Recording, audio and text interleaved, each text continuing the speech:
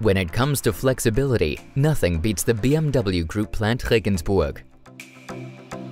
Nine different models are manufactured on a single production line there, from the BMW X1 and the BMW 1, 2 and 3 series to the BMW 4 convertible, and now, the newest addition, the BMW X2. In order to remain masters of flexibility into the future, they consistently focus on innovative automation, state-of-the-art assistance systems, and digitized processes.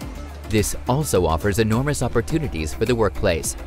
Nowadays, large industrial robots are no longer placed behind safety fences and can be operated directly by associates. That way, both colleague and robot can make optimal use of their key strengths, dexterity and professional expertise from the associate to place the robots in the right position, and heavy labor from the robot to carry out the task.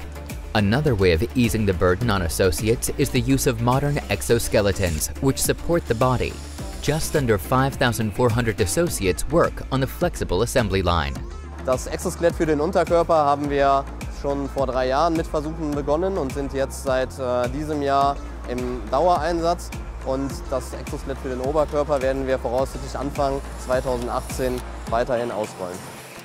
The exoskeleton is attached to the upper body and strengthens the movements of the upper arms during physically demanding work. Mechanical spring supports, which increase arm strength, are integrated into the vest's joints. The exoskeleton for the lower body improves the associate's posture, much like a chair.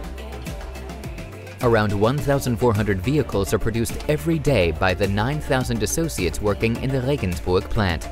The goal of the BMW Group is to maintain an efficient, stable and flexible production. At the same time, they also aim to support and make good use of the associates' strengths and skills.